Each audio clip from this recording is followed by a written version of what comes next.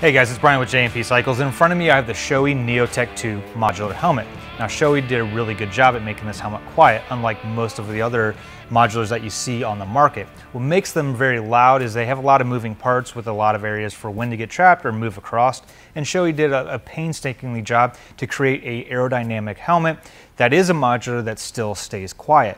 Now the first thing to take note is the ventilation system. Now these do have some cool aerodynamic fins over them, but they are large pockets to allow air to come into, keeping your head cool, and a big chin vent to keep your face cool.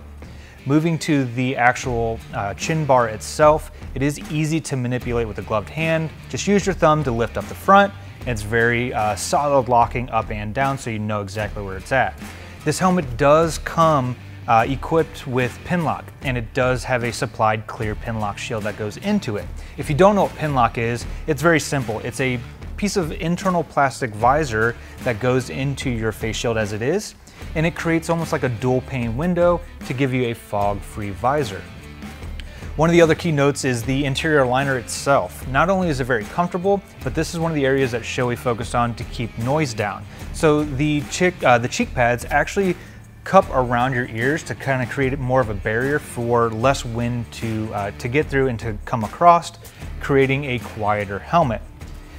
Inside that interior is your EPS liner. The EPS is that foam that protects your head uh, and absorbs all that energy uh, in case of a fall.